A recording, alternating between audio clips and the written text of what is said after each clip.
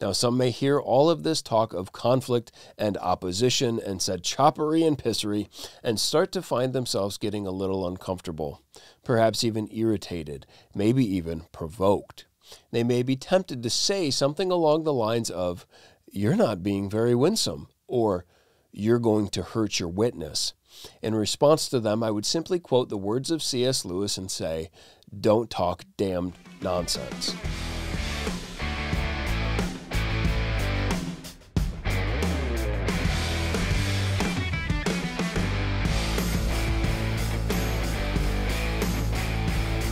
Welcome to the Godly Troublemaker Podcast. I'm your host, Andy Parker.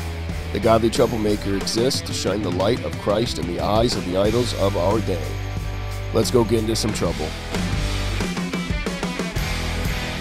Introduction My name is Andy, and welcome to my podcast. So here I am, throwing my hat in the ring, or perhaps, if you will, seeking to sift out the 300 to storm the Midianite camp to slaughter them. But there I go already using triggering words. Perhaps it would be apropos in our progressive day and age, perhaps even more winsome, to say that we're going to travel merrily down the yellow brick road together with our junk neatly tucked in our brand new one piece swimsuits all the way to the wizard's house. So here we go. We're off to see the wizard. Why? Because, because, because, because, because of the wonderful things he does. As we sing and dance our way down this yellow stained road, making our way to the Emerald City, we can't help but joyfully share stories of the wonderful wizard and the wonderful things he does. We share tales of how the wizard has wonderfully cared for our children by educating them so that we could all live our best lives now tales of how he protects us and provides for us in retirement, tales of how he recently saved us from the most deadly virus ever in human history, tales of how he controls the climate and spreads good tidings of great joy through diversity, inclusion, and hormone blockers, tales of how this wizard can even control reality, which is good because it's such a moving target these days. So as we arrive at Babel, I mean the Emerald City, the first thing we notice besides the flying monkeys and the stench filling the air, is that the luster is gone. As we reach the end of our tether, I mean the road, we see that the Emerald City looks more like an empire of dirt. And though we don't want to discriminate against the geographically unsettled's ability to defecate in public, we can't help but notice it all over our shoes. But here we are. We've traveled all this way, we might as well beseech the wizard for his divine counsel. But as we're given an audience with the great and powerful Oz, we made the mistake of peering behind the curtain and noticed an angry, short, chubby, purple haired lesbian named Becky. It's a reboot after all.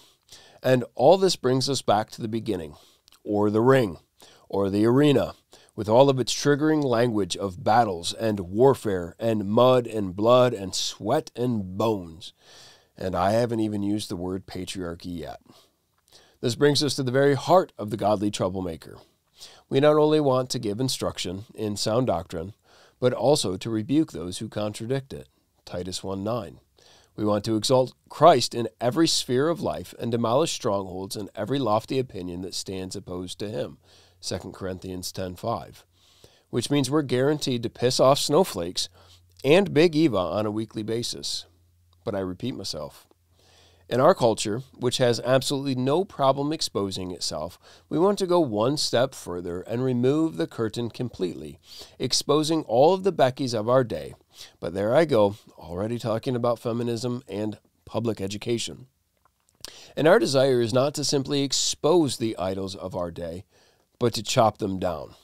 As a dear brother in Christ recently said regarding Thor's oak, chop, chop. Given that there are many men already engaged in said choppery and pissery, is it really necessary to have one more voice in the space? Obviously, my answer is yes. The secularists have been planting oaks for decades, and if I can play my part in chopping some of them down, count me in.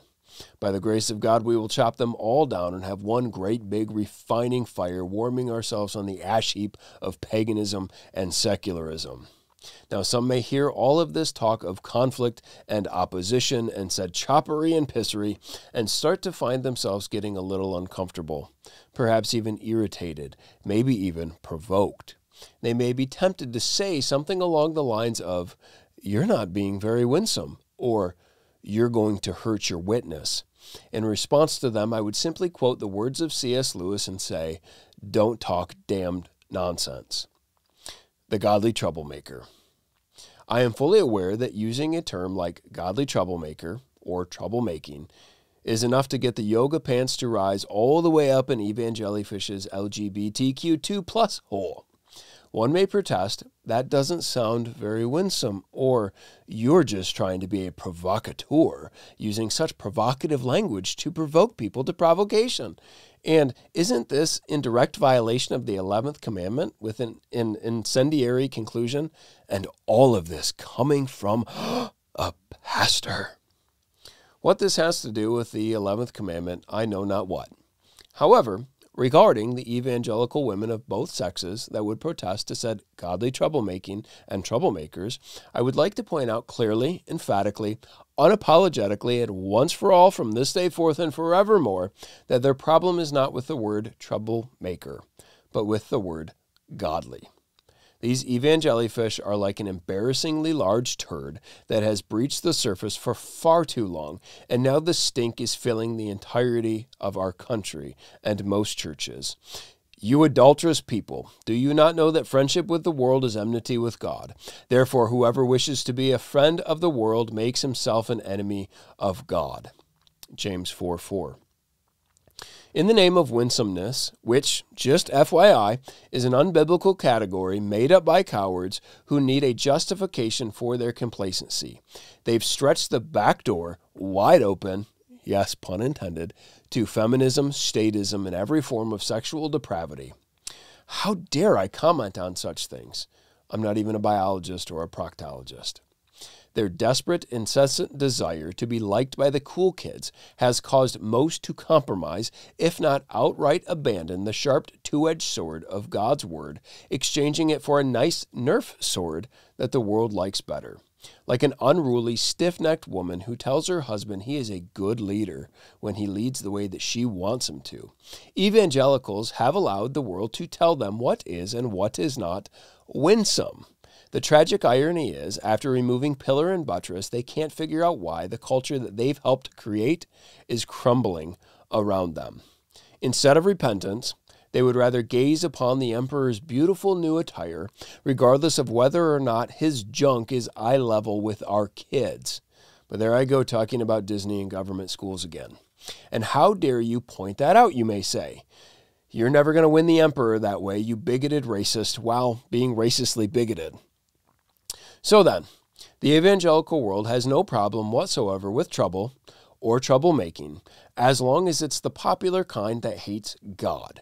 But when it comes to the kind in the Bible, you know, the godly kind, you know, the kind that actually loves God's law word, they freak out. Weeping, wailing, gnashing of teeth, and the like, all the while declaring that not all Christians think like he does. And that there are obviously much nicer ones who don't believe the Bible and Jesus and all of that other stuff. All of this to say, the problem isn't only with Thor's Oak. The problem is that Thor's Oak is growing right up through the poop chute of evangelicalism and straight out the top of a renovated mini ball with a neon sign out front with an edgy name like Ignite. So, yeah, I intend to create a whole heap of trouble. Lots of it. A whole lot of it. You know, the kind of trouble that wasn't trouble two years ago. The kind of trouble that says boys have a penis and girls have a vagina. And if that sounds radical, it's probably be because you have a vagina behaving like a penis. Now, there may be some that will cry foul and cry like Becky the day after the 2016 election. But again, I would remind you that they have no problem with penis and vagina talk. They just have a problem with it in the right order and in the right context, like in the Bible, and not in the government schools and in the first grade.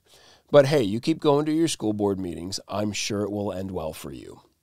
So, yeah, Trouble is what we seek, and contra mundum is our cry. But it must be clearly stated that we don't desire trouble for trouble's sake, nor are we creating trouble at all. We are simply exposing the trouble that already exists trouble with the Lord and with his anointed. Wherever the gospel of Jesus Christ is faithfully preached, and the servant of Jesus faithfully declares that it all belongs to Jesus, that he is Lord, and that no one and nothing else is, you are going to have trouble. I have said these things to you, that in me you may have peace, but in the world you will have tribulation. But take heart, I have overcome the world. John 16 33. Our troublemaking is a godly troublemaking, the kind that believes the promise of God and names his wife Eve, the kind of trouble that takes a hundred years to build an ark in the middle of dry land, the kind of trouble that believes God and it's credited to him as righteousness the kind of trouble that flees from Egypt and conquers Canaan and slaughters the Canaanites, the kind of trouble that kills a thousand Philistines with the jawbone of an ass and a bad attitude, the kind of trouble that stands before giants and taunts them and then cuts off their heads, the kind of trouble that builds up kingdoms, and the kind of trouble that refuses to bow down to their idols. That kind of trouble that repents of sin and confesses Jesus as Lord of all. The kind of trouble that thinks generationally and has an optimistic eschatology. The kind of trouble that offers the nations the terms of surrender, repent, and believe in the Lord Jesus Christ, and you will be saved. Serve the Lord with fear and rejoice with trembling. The kind of trouble that says, Bring on your best.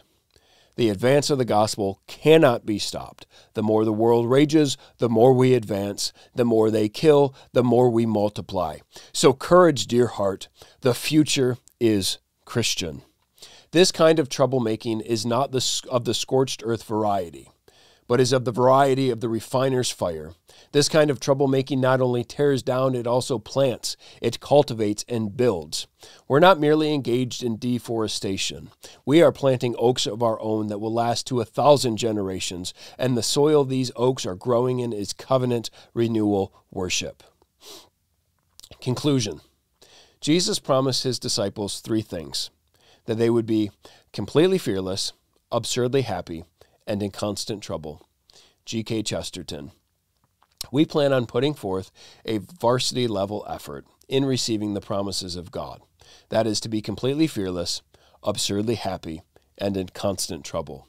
And if my little foray into podcasting and blogging and vlogging doesn't work, I can always fall back on a side hustle of sharing pictures of my butt on Instagram. I hear that's profitable these days, and who knows? Maybe I'll win some evangelicals along the way. Before you go, if you like this video and want to see more, subscribe to our channel and like this video and leave a comment. Also, go follow us on social media to stay posted on all of our new content, updates, and lots more.